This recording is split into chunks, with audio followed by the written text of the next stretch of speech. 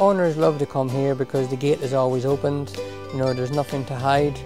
Any owner is welcome to come and see their horse. That's what having a horse in training is about.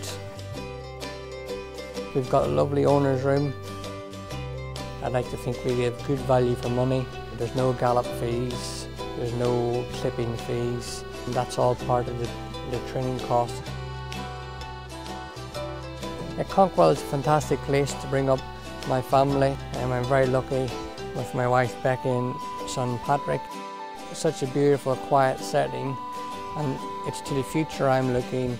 I'm looking to build on that for my family and um, for Neil Mulholland Racing. I'm a member of uh, the Neil Mulholland Racing Club for the last three years, and which has been very successful.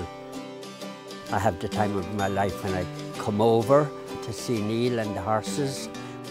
I go racing with Neil and we have a great time. Each member of the racing club have access to the yard and that they can see how operations are run in the yard, which is run to perfection, I think.